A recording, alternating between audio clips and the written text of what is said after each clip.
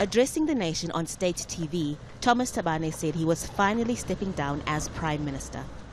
My fellow countrymen and women, I appear before you today to announce that the work that you had assigned me may not yet be over, but the time to retire from the great theatre of action and take leave from public life and office has finally arrived.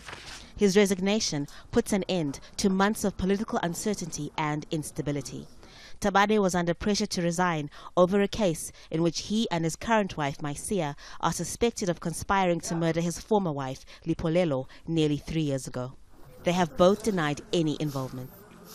He, he was harboring under the argument that because he is a sitting prime minister, he may not be prosecuted. Obviously, that that argument was weak, but now that he he has uh, resigned, it can be expected that. Uh, the police and, and, and, the national prosecution can now proceed smoothly to investigate that case uh, against him. In the capital, Maseru, some people hope their next prime minister, Moeketsi Majoro, will focus on the economy. That is all we need. We are hungry. We don't have food. We don't have jobs. The salaries that we get are very low. As a result, the economy is always down. Others don't think much will change.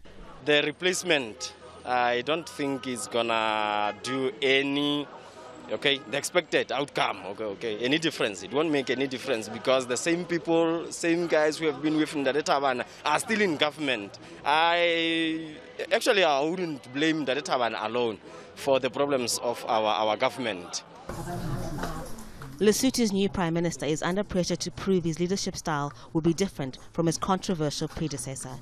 He also has to try to contain the coronavirus outbreak in a country of roughly 2 million people, many of whom are poor and struggling to make a living. Haru Mutasa, Al Jazeera.